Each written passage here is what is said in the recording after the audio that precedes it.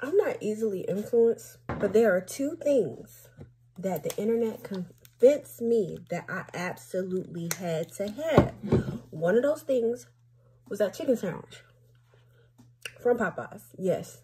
The way y'all Negroes overhyped that chicken sandwich, I was so mad. Like, I was convinced that it was about to be good. And I was vegan. And I was like, I just got to try it. I was so disappointed. But this, baby, were not lying about this stuff. And I hate that y'all were not lying about it because I was convinced that I probably shouldn't trust you guys.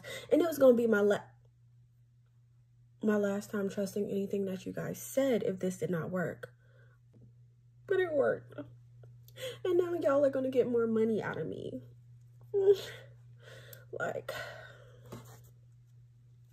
I love, love,